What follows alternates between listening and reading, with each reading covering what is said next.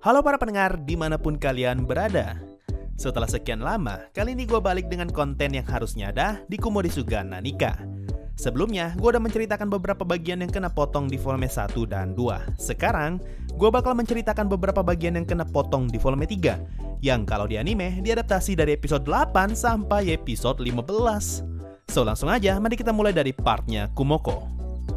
Kalau di anime, volume 3 dimulai dari pertengahan episode 8 ketika Kumoko merasakan getaran di tanah lalu dia bertemu Fire Dragon yang terluka.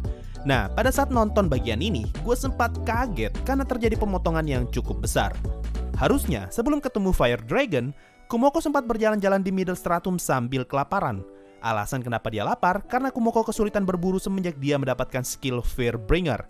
Skill ini dia dapatkan setelah mengalahkan Fire Worm di akhir volume 2. Tapi kalau di anime, Kumoko baru mendapatkan skill ini di episode 16. Efek dari skill ini membuat Kumoko dapat mengeluarkan aura menakutkan yang akan membuat berbagai macam monster di sekitarnya menjauh. Nah, sialnya, ini adalah skill pasif yang tidak bisa dimatikan. Jadi mau tidak mau, Kumoko harus menerima kondisinya saat ini, di mana semua hewan buruan menjauh sebelum sempat didekati. Barulah dari sini, Kumoko melihat lubang raksasa di tengah middle stratum. Nah, ini dia bagian penting yang kepotong. Ketika Kumoko melihat ke dalam lubang, dia melihat Madar sedang bertarung melawan Fire Dragon.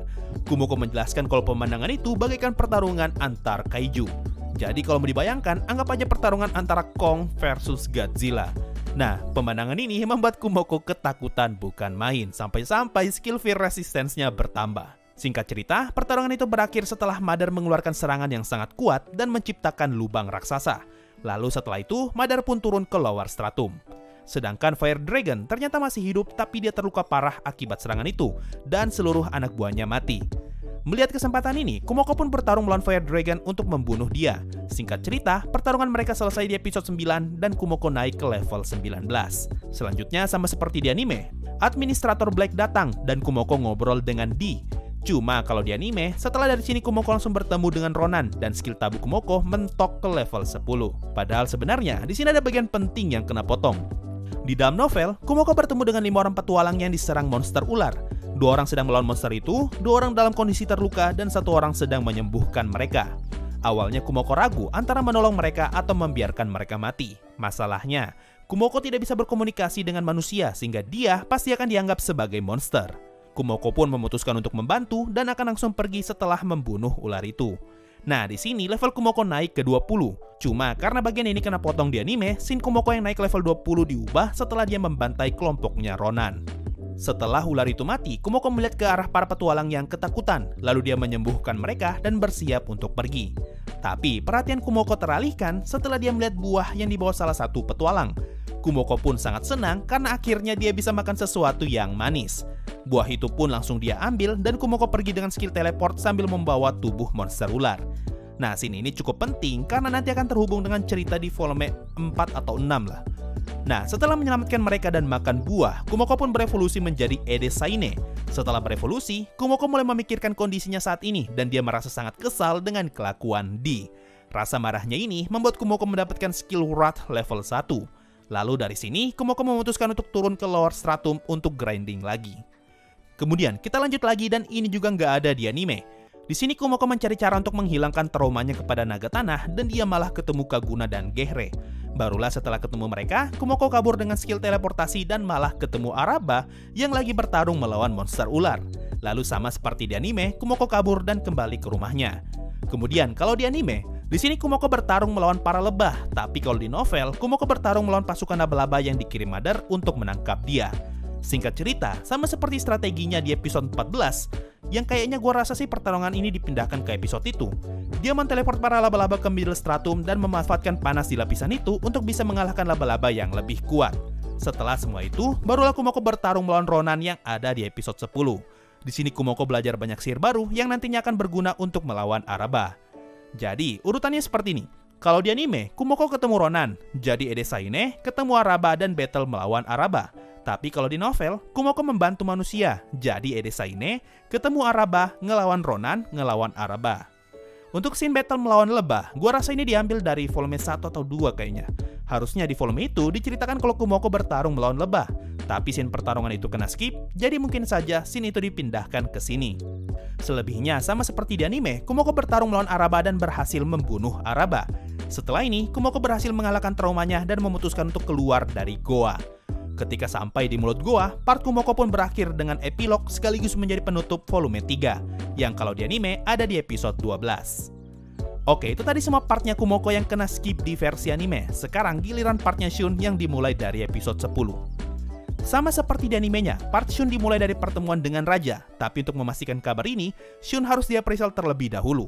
Lalu, setelah Shun keluar dari ruangan, kita diberikan sudut pandang pangeran ketiga yang ngomong kepada gurunya kalau dia tidak ingin kehilangan saudaranya lagi dan akan berjuang agar Shun dapat tetap hidup. Kemudian kita lanjut ke part berikutnya yang ada di awal episode 11. Kurang lebih sama seperti di anime, cuma kalau di novel, dijelaskan lebih jauh kondisi tiap kastil akibat serangan pasukan iblis dan monster apa saja yang menyerang pada saat itu. Lalu masuk ke part berikutnya di mana Shun bertemu dengan Hyrens. Di sini sama seperti di anime, tapi ditambah sedikit percakapan antara Julius dengan anggota partinya sebelum bertarung melawan si sosok putih. Setelah dari sini, part Shun langsung lompat ke episode 14. Nah, cerita tentang pertemuan Raja dan Potimas di pertengahan episode 13 itu nggak ada di light novel. Jadi, mungkin saja itu original story atau mungkin itu diambil dari web novelnya. Oke, sebelum gue lanjut nih, gue mau bilang kalau episode kudeta yang Hugo lakukan itu terasa sangat hambar. Padahal kalau kalian baca novelnya, di sini ceritanya tuh kerasa kejam loh. Intinya sama seperti di anime, Su ngebunuh raja, Hugo kudeta, dan Shun kabur bersama Miss Oka dan beberapa orang yang lain. Nah, yang gak diceritakan di anime adalah asal-usul skill cuci otaknya Hugo yang dia dapatkan setelah menjadi ruler of Last. Di novel juga, harusnya ada dua perempuan yang ikut kabur dengan Shun, yaitu Anna dan Clevea. Tapi kayaknya Clevea dihilangkan dari versi animenya, makanya cuma ada Anna di versi anime. Lalu di novel diketahuan kalau sebenarnya Anna pun ikut tercuci otak dan hampir menyerang Shun. Tapi Shun langsung membuat Anna pingsan, dan ini yang jadi alasan kenapa posisi Shun bisa ketahuan. Lalu kita diberi POV Katia yang sedang tercuci otak. Inti dari part ini bercerita tentang detik-detik ketika Yuri dan Su mulai bertingkah aneh dan semua itu diketahui Katia. Hingga akhirnya Katia juga ikut tercuci otak. Setelah itu mirip seperti di anime, Katia bertarung melawan Shun dan dia melawan cuci otaknya Hugo dengan membunuh dirinya sendiri. Tapi berkat Shun, Katia berhasil pulih kembali dan Shun membawa Katia pergi sambil digendong layaknya seorang putri. Scene ini kalau di anime diubah menjadi Shun yang hanya membiarkan Katia tergeletak setelah dipulihkan. Selain itu, di anime cuma ada Shopia yang menyerang, padahal sebenarnya ada satu orang ninja yang ikut menyerang bersama Shopia. Lalu Faye datang menyelamatkan mereka, yang kalau di anime semua orang berhasil diselamatkan Faye, tapi kalau di novel, Leston dan Clevea harus tertinggal karena tidak sempat diselamatkan. Kemudian kita diberi POV singkat dari Shopia yang sedang ngobrol dengan ninja. Gue lupa nih siapa ninja ini, tapi intinya mereka berdua sedang membicarakan rencana yang sedang berjalan dan Shopia ingin melapor kepada masternya tentang seberapa kuat Shun. Part berikutnya bercerita tentang ekspedisi Ronan yang masuk ke dalam labirin 15 tahun lalu. Cerita tentang ekspedisi ini dibagi menjadi tiga part yang terpisah dalam satu volume ini. Cuma, intinya sama seperti di episode 10. Ronan bertemu Kumoko, mereka dibantai dan akhirnya kabur dengan skill teleport. Gue rada malas nyeritain bagian ini karena memang gak terlalu penting. Mending kalian baca sendirilah. Tapi gue jamin, kalau kalian baca cerita tentang ekspedisinya Ronan, nanti kalian bakal simpati dengan nasibnya si Buirimus yang bakal diceritakan di volume 8 dan 9. Dia adalah salah satu karakter yang berakhir tragis karena semenjak ekspedisi ini, hidupnya yang tentram jadi sengsara. Kemudian part Shun dilanjutkan lagi. Di sini diceritakan kalau Shun sudah bersembunyi selama 10 hari. Nah, sebagian besar cerita di part ini dan beberapa part berikutnya dipotong dari versi animenya. Di sini Katia ngomong kalau dia mendapatkan skill baru dan meminta Shun untuk mengappraisal dirinya. Di sini ketahuan kalau Katia mendapatkan skill baru bernama Divinity Expansion, Heresy Resistance, dan Parallel Minds. Kemudian kita diberitahu kalau Miss Oka sedang dalam kondisi koma dan dia akan sadar setelah 15 hari. Shun juga harus merawat Ana yang masih dalam pengaruh cuci otak sambil pelan-pelan menghilangkan efek cuci otaknya. Kemudian Katia dan Shun saling berbicara dan menjelaskan kondisi politik di kerajaan saat ini dan juga membicarakan perubahan Faye yang berevolusi menjadi Like Worm. Nah, ini dia bagian yang gue bilang hambar. Kudeta yang Hugo lakukan itu terasa terlalu baik kalau di versi animenya. Padahal di bagian ini diceritakan kalau ayah dan ibu Katia dituduh sebagai pengkhianat dan akan dieksekusi mati oleh kerajaan. Setelah mendengar pengumuman eksekusi mati, Shun dan yang lain bergegas pergi untuk menyelamatkan orang tua Katia, Clevea, dan juga Leston yang akan dieksekusi. Masuk ke part berikutnya, Shun dan yang lain sedang diangkut Faye untuk pergi menyelamatkan keluarga Katia. Tapi mereka diserang oleh seorang penyihir dan dia adalah Ronan. Singkat cerita, serangan Ronan berhenti yang membuat Shun sadar kalau Ronan tidak serius menyerang mereka dan mereka pun sampai ke tempat tujuan. Masuk ke part berikutnya, Shun sampai ke ruang tahta dan melihat kakaknya yaitu Silis sedang berada di kursi tahta. Di hadapannya ada Leston, Clevea, dan orang tua Katia yang sudah siap untuk dieksekusi. Singkat cerita, mereka berempat pun mati setelah leher mereka terpisah. Melihat hal itu, lalu Shun bergegas menggunakan skillnya yang bernama Mercy. Ini adalah skill terlarang yang bisa menghidupkan orang yang sudah mati. Tapi sebagai gantinya, skill tabu si penggunanya akan terus naik setiap kali Mercy digunakan, dan di sini skill tabu Shun sudah sampai level 9. Skill ini juga menjadi alasan kenapa Katia masih hidup meskipun dia sudah menusuk dirinya sendiri di part sebelumnya. Mereka yang terbunuh pun kembali hidup dan Shun kabur membawa mereka semua. Setelah ini, ada POV singkat dari dua orang yang tidak diketahui, tapi kemungkinan mereka adalah administrator. Lalu masuk ke part berikutnya, saat ini cuci otaknya Anna sudah hilang dan mereka sedang melakukan diskusi serius tentang kondisi kerajaan dengan ayahnya Katia. Kita diberitahu kalau sepertinya Hugo membawa pergi Su untuk dijadikan sebagai tunangannya. Nah, setelah semua cerita tadi, barulah kita masuk ke akhir episode 15, di mana Shun, Anna, Miss Oka, Hyrens, dan Faye memutuskan untuk pergi ke tempatnya para elf.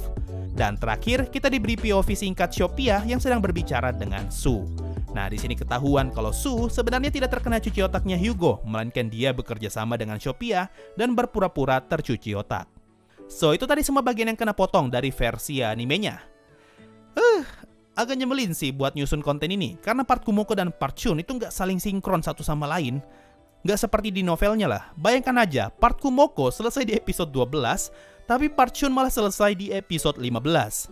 Gua rasa volume 4 pun nanti sama lah. Nanti part Kumoko kelar di episode belasan, tapi part Shun kelar di episode 20-an. Tapi gue tetap yakin season 1 Suga bakal sama-sama selesai di volume 6. Mungkin itu saja untuk video kali ini. Makasih semuanya sudah mendengarkan sampai di titik ini. Sampai jumpa di video berikutnya, dan bye-bye. Yo, waktunya Saweria. Ada dari Yandere Kun. Bang, minta rekomendasi anime adventure dengan jalan cerita cepat. Kalau cerita adventure yang pendek, gue kepikiran dua judul, yaitu Sorayori Motoi Basho dan Drifting Dragons. Ada dari suaminya Shaltir, Sensei ke mana aja, kok nggak upload-upload video lagi?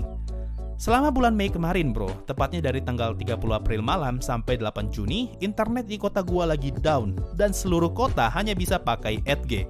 Makanya gua nggak bisa upload apa-apa. Ada dari Gading, apakah Sensei akan bahas tentang novel Musoku Tensei?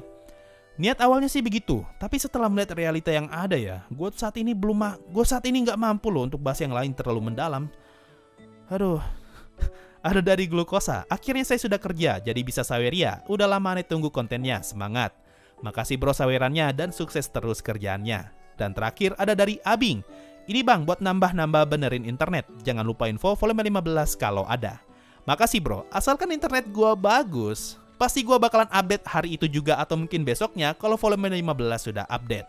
So itu tadi dari Saweria, makasih semua yang sudah donasi dan gabung jadi membership. Thanks a lot and bye-bye.